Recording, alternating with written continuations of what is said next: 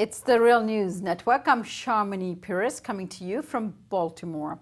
Less than 10 years ago, Central and South America's pink tide was at its highest point. Most of the continent had leftist or center left governments in power.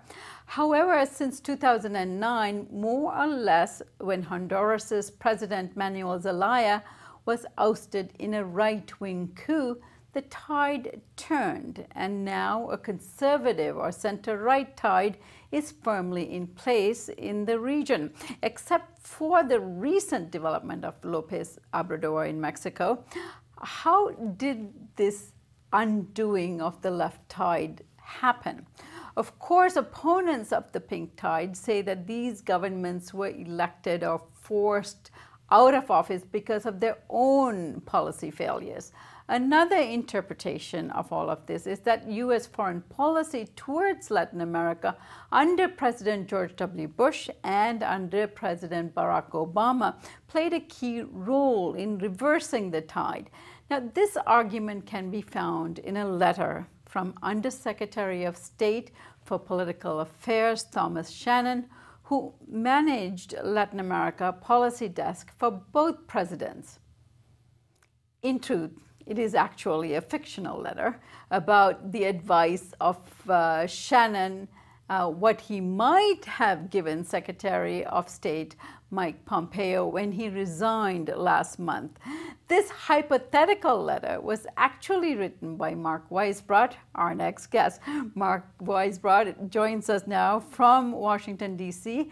Um, he to discuss U.S. Latin America policy uh, managed under uh, Latin American Pink Tide. Mark is the co-director of the Center for Economic Policy and Research and is the author of the book Failed, What Experts Got Wrong About the Global Economy. Thanks for joining me, Mark. Thanks for having me here, Sharmini. All right, Mark, let's start off with why you felt you had to pen this letter in order to draw attention to the undoing of the pink tide in Latin America. Well, I thought it would be more interesting and readable. Most people are not that interested in the recent history of Latin America. And also, I, I want to emphasize that everything in there is true, uh, except for the fact that he didn't actually write the letter. But everything uh, he says in there, the facts are all uh, sourced and they're all public information. And even where it refers to positions that he took within the State Department, those are uh, positions that were documented in the media. All right, Mark, in 2008, almost all of the uh, South and Central American states had progressive or center left governments in place, and this includes El Salvador, Nicaragua, Honduras, Venezuela, Ecuador, Bolivia, Argentina, Uruguay, Paraguay, Chile, and Brazil. Now, only Bolivia, El Salvador, and Venezuela and Nicaragua remain with the um, last two of these, uh, one could say Nicaragua and Venezuela, in a great deal of trouble and in crisis. So, give us a sense of what happened. Well, some of it was due to the uh, recessions that these co- countries experienced. So, for example, in Brazil, they went into recession in 2014 and that's when the opposition began to uh, gain ground and eventually impeach uh, Dilma, the president, Dilma Rousseff, who uh, they impeached without ever actually accusing her of a, of a crime. And uh, so in all these countries, there were various factors at play. But what I emphasize in this letter and in the form of Thomas Shannon taking credit for is that the U.S. played a role in in most of these countries where there was a change of government. Some of it is not well known. Obviously, some of it is. In the 2009 coup in Honduras, Hillary Clinton wrote in her memoirs that she helped ensure that the democratically elected president of Honduras did not uh, come back to office after the coup. Uh, but in others, you, you, know, people don't even know. So, for example, in Argentina, the U.S. government over under uh, Obama opposed loans to the government and blocked some at the Inter-American Development Bank and the World Bank. And this was a time when Argentina was having a balance of payments uh, problems. So that was important.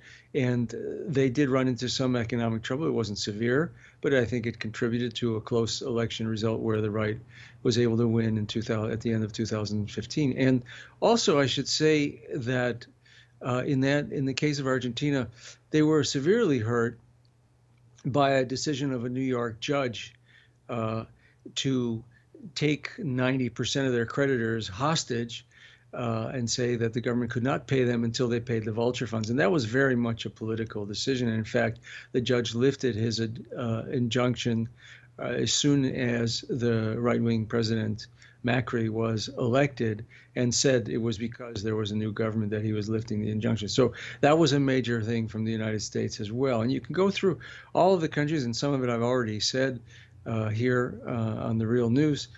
Uh, there, there was a U.S. role, and of course, we only see the tip of the iceberg. Uh, Lula was interviewed a few months ago, and he said, you know, it took us 50 years before we found out about the U.S. role in the 1964 coup.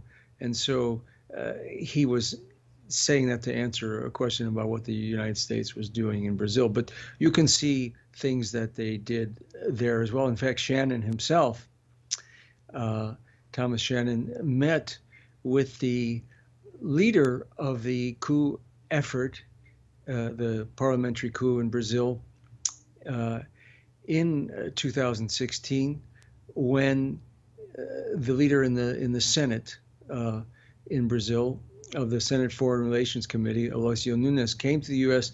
just a day after the vote to impeach Dilma took place in the House and met with Shannon. So that was a signal to everyone in Brazil that the U.S. was behind this coup.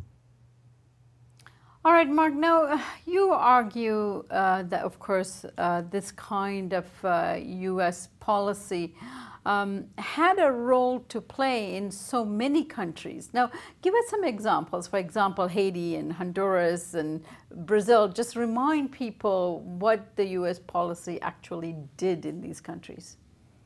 Well, Haiti is a, a, a good example because they kind of did that in broad daylight. They took the president, the elected president in 2004, flew him out of the country on one of those rendition planes, basically kidnapped him. And they didn't even care. That was under George W. Bush, but the effort actually began under Clinton in 2000. There was an election there, and the Organization of American States observers went there and they produced a report saying that it was everything was good, and then they changed that, and they basically had a technical objection to some of the Senate elections. And they used that. Then the U.S. government, uh, under first uh, Clinton and then uh, Bush, used that as a pretext to cut off almost all international aid to Haiti, which was desperately poor. And then they, uh, by 2004, after four years of destabilization, they were funding opposition groups. And they were also telling the president uh, Aristide uh, that they wouldn't he wouldn't get aid restored until he reached an agreement with the opposition. And then at the same time, they were telling the opposition, "Don't reach an agreement. Don't don't make any agreement with him because we're going to get rid of him." And that's how they did it. And they and they overthrew the the government. And that was the second time they had overthrown the Haitian government uh, since 1991. And so that was just, you know, one example. Uh, obviously, there was also the Honduran coup. Oh, before you go there, in, in Haiti's case, they had the aid of a few other nations as well, France and Canada. That's right. And they got almost all the countries in the world to cut off their aid to Haiti between 2000 and 2004. And then in 2011, uh, there was a, an election in 2010. And in 2011, the United States actually used the Organization of American States to overturn the results of the first round of the presidential election. And in that case, they also threatened Haiti uh, to accept the results, or they would cut off the post earthquake aid, which was even more desperately uh, needed. And so they got to choose uh, who made it into the second round and who became president uh, there as well. And this really devastated Haiti in, in so many ways. I mean, you only had like a 20% turnout in the last presidential election in Haiti because uh, they people have become so uh, disenfranchised as a result, uh, primarily of, of U.S. intervention. Now, one could argue, you know, having a poor country like Haiti, who is so dependent on the U.S., uh, they can U.S. can flex their muscles and make sure what they want takes place in Haiti. But what about a country like Brazil? Well, I think they did. Like I said, I think that signal was important. Uh, the the show of support for that coup, I think, helped. There was another show of support when uh, John Kerry uh, went down to Brazil on in August, August 5th of the same year, and he held a joint press conference with the acting foreign minister, Jose Serra, and they said talked about how great their relationship was going to be going forward. And Dilma wasn't even removed from office uh, yet; she was uh, still the Senate hadn't voted yet to remove her from office, so that was another signal of support. Again, we don't know what else they did. Actually, we do know some other things. Uh, the Department of Justice was involved in the investigation, the big corruption investigation there. And so we don't know what they did, how it is that they managed to get Lula put in jail uh, while the banks who must have laundered you know the billions of dollars of corruption there were no banks or financial institutions implicated in this whole investigation so that's very odd and of course you know, most Brazilians think that the Department of Justice uh, intervention in the investigation was probably political, and they have good reason to believe that. And, and Honduras, uh, of course, Argentina, Venezuela too. But let's just dig into the Honduras case because I think that's also left people's memory. Yes, well, in 2009, there was a coup, and the president was, uh, in June of 2009, he, the president was uh, flown out of the country uh, in the middle of the night, and he was, uh, you know, he was overthrown. And the first statement that came out of the White House was really, really foretold everything that was going to happen and showed what the real position of the United States was, because it didn't even condemn the coup. It just said, you know, all parties should work together uh, and try and arrive at a solution. And when a military coup happens in the 21st century and you don't even say anything bad about it, and they knew it was coming as well, we, we found that out later. So clearly they had time to prepare a, a statement and they don't even say anything's wrong. That was a, a massive signal to everyone that they supported it. And then, as the coup proceeded and the government needed to establish its legitimacy, the United States was practically alone in supporting the election that legitimated the coup uh, later that year. And as I said, Hillary Clinton uh, wrote in her memoirs that she helped make sure that the elected president didn't go back, which was what all of almost all of Latin America wanted and the U.S. manipulated the Organization of American States to prevent there from being a stronger, stronger actions on their part uh, to put Zelaya back in office.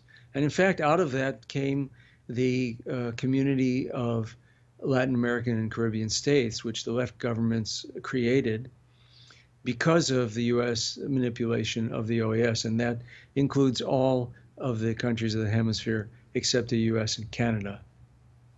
All right, Mark, there's so much more to talk about because uh, Latin America is known as a laboratory of the United States and its policies, and I'm sure we are feeling uh, those laboratory experiments and their reverberations uh, throughout the world.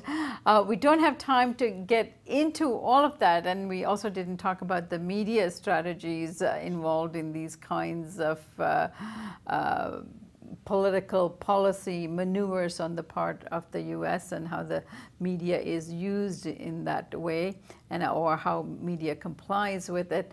But we'll have to leave that for another time. I thank you so much for joining us today, Mark. Thank you, Sharmini. And thank you for joining us here on the Real News Network.